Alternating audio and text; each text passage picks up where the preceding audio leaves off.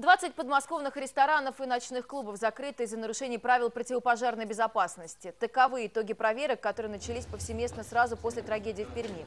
Как выяснилось, большинство заведений слишком похожи на печально известную хромую лошадь. В них нет запасных выходов, слишком узкие дверные проходы, а отделка внутренних помещений выполнена из легко воспламеняющихся материалов.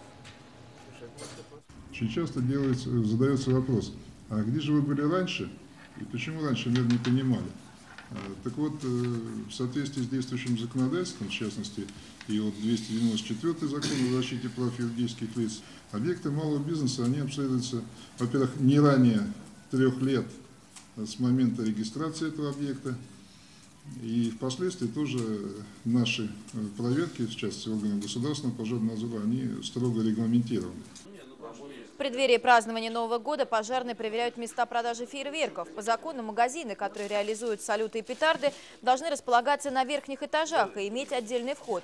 На деле же фейерверки часто продают на рынках, которые никак не оборудованы для хранения опасных товаров. Все подобные торговые точки, по словам пожарных инспекторов, будут закрыты.